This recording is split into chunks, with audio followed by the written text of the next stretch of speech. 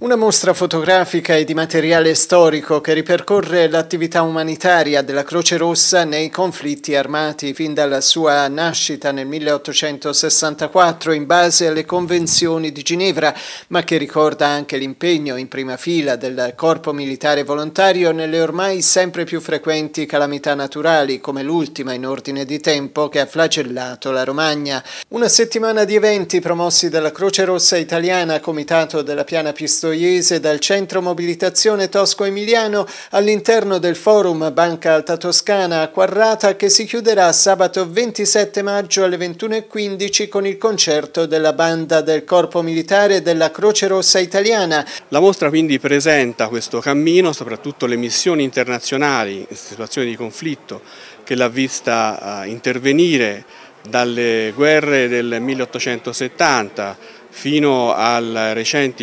conflitti più recenti come il Kosovo, l'Albania, eh, l'Iraq, l'Afghanistan. Abbiamo collaborato eh, molto attivamente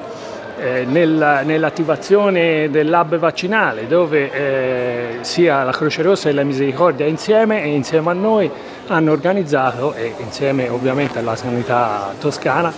un hub vaccinale da 10.000 eh, vaccini. Croce Rossa Italiana che è fondamentale, fa parte di quel cuore pulsante, cuore dell'associazionismo, del volontariato, che è la grande fortuna di tutti i sindaci, del sindaco di Guarata a modo particolare visto che siamo a Quarrata e di tutti i cittadini, quindi un grandissimo ringraziamento va alla Croce Rossa e a tutto questo stupendo mondo del volontariato e dell'associazionismo.